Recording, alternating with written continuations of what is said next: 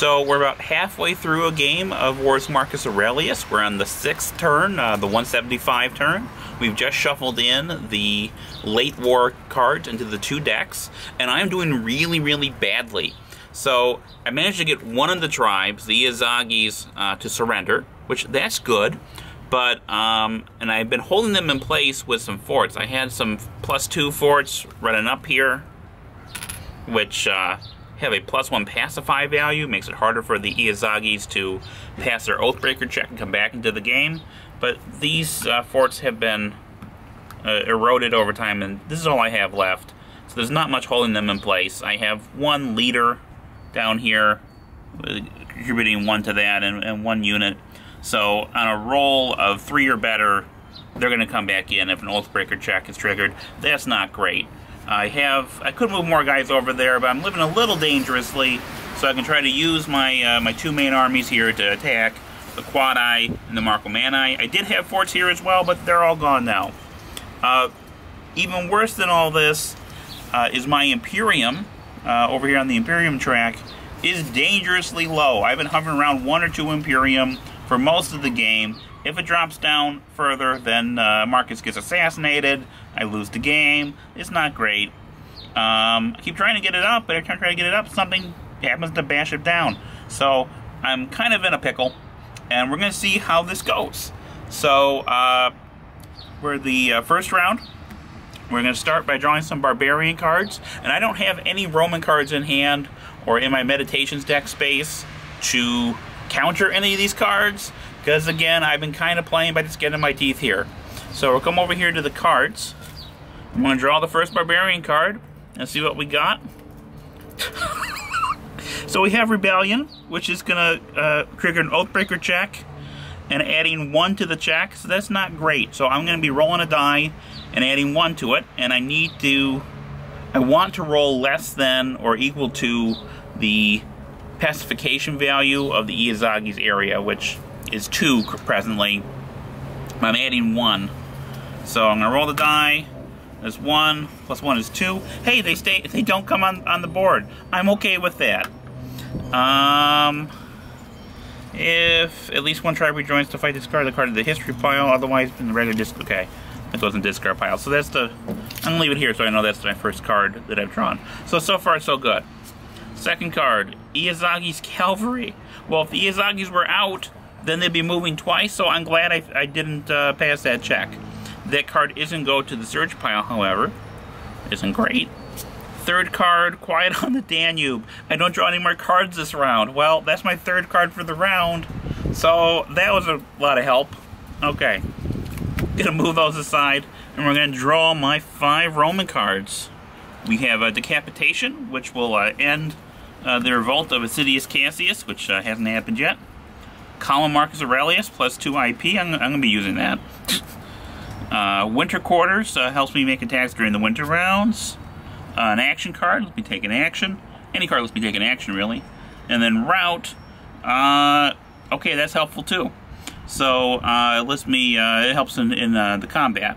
So what I'm going to do on, on my turn to start with is I'm going to use this card here to uh, give me plus two Imperium.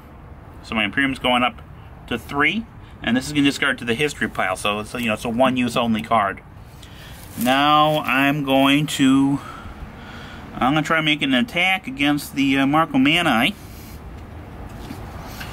And uh, if, it, if it succeeds, I'm, I'm going to use this... Um, this card here to make it a rout. We'll see how that works. I'm going to hold on to that for now. So I'm going to be attacking the Marcomanni. I'm going to move my guys up here so you can see what's going on.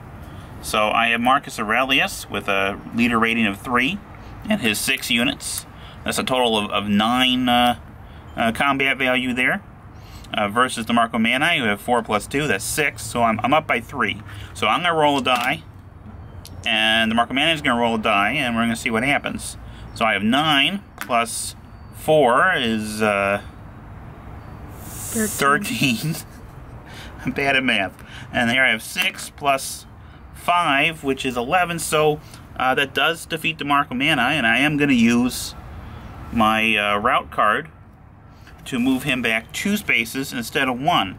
So he's a little bit farther away from my frontier, a little closer to his home space, a little closer to hopefully surrendering. Um, I'm going to hold on to the cards I have right now for this round. I'm going to move down to round two so I can use them to react to whatever cards, whatever nasty cards come up here. Let's go back over to the cards, and we're going to draw a barbarian cards for the second round. First one, coordinated attack. Activate all unsurrendered tribes. Do not perform an Oathbreaker check. Uh, put this card in the regular discard. so they all move up. So the Quadi are going to move up. Boom. The Marcomanni are going to move up. Boom. And uh, goes in the discard pile, not in the search pile, so that, that's okay. But I'm going to leave it there so I know it's there. So I know that's the first card. Second card, the Quadi. So they're going to advance. That's not great because they're getting into my frontier. Now, if I had a fort here, that would, that would prevent him from moving further. I probably should have used one of my cards to put a fort there before, but, uh, you know, I wasn't thinking. So I'm going to move this one into the uh, Surge pile and draw the third card, which is the Iazyges. Uh, I am going to discard one of my cards, which uh, I'm going to discard the Decapitation card. I'm probably not going to need it. Uh, now that I've said it, I'm going to.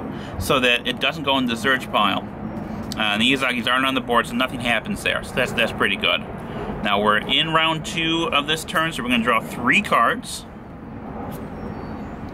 Um, so the Eleusinian Mysteries uh, I'm going to use this card right away because that is going to let me save two cards at the end of the round, and that's going to be uh, helpful instead of just saving uh, one.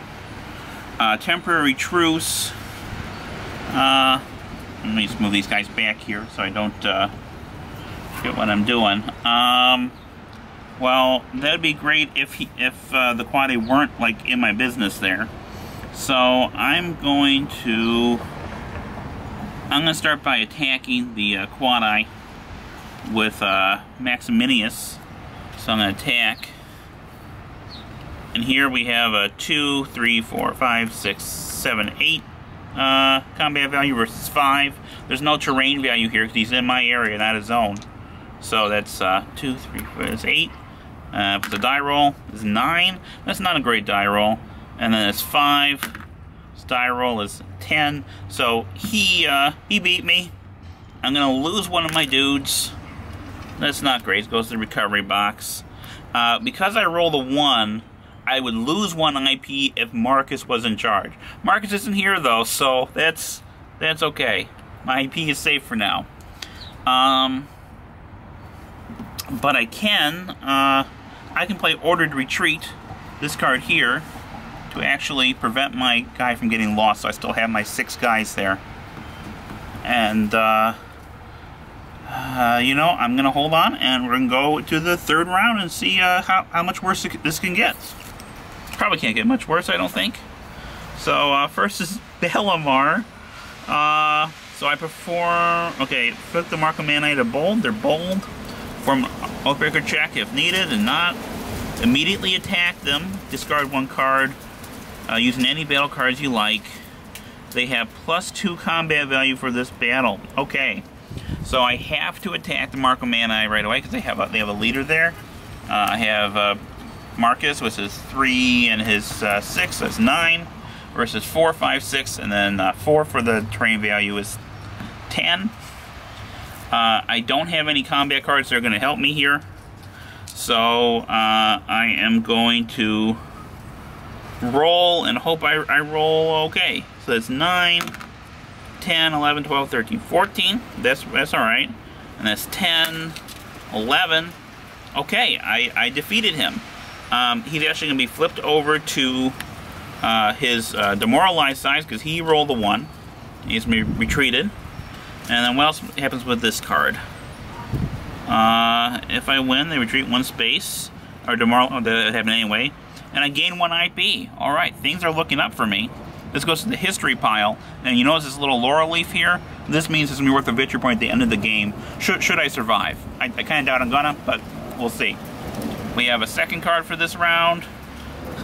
Avidius Cassius, so you know how I said I'm just gonna discard this, card for Avidius Cassius, I'm not gonna need it. Well, I kinda need it. So let's then go to the Eastern Empire off-map conflict space. right there. And the third card, uh, Goddess Fortuna, Fortuna, oh boy. Uh, reshuffle the Barbarian deck. I'm gonna shuffle these back into the deck. All these nasty cards go back into the deck. And that's the last Barbarian draw.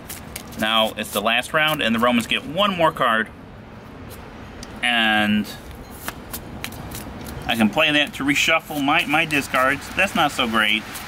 Uh, I'm going to use it for, I'm going to use the Winter Quarters card, which lets me make uh, two attacks during the winter round without suffering a, negative multiply, uh, modifier, which is usually what, what happens.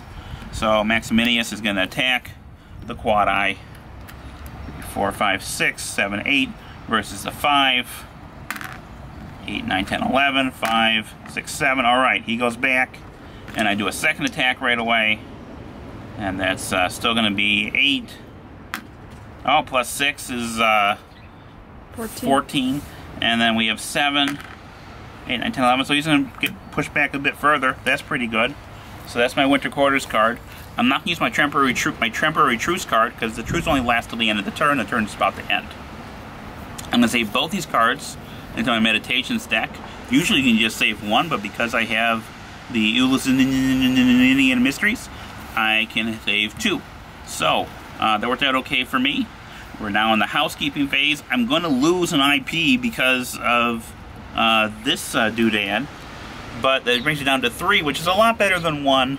I'm in better shape than I was at the beginning of the turn, but but not by much.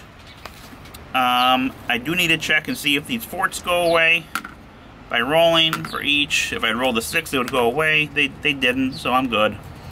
And uh, that is that turn, and uh, we'll see how bad I do uh, next turn. Thanks for watching.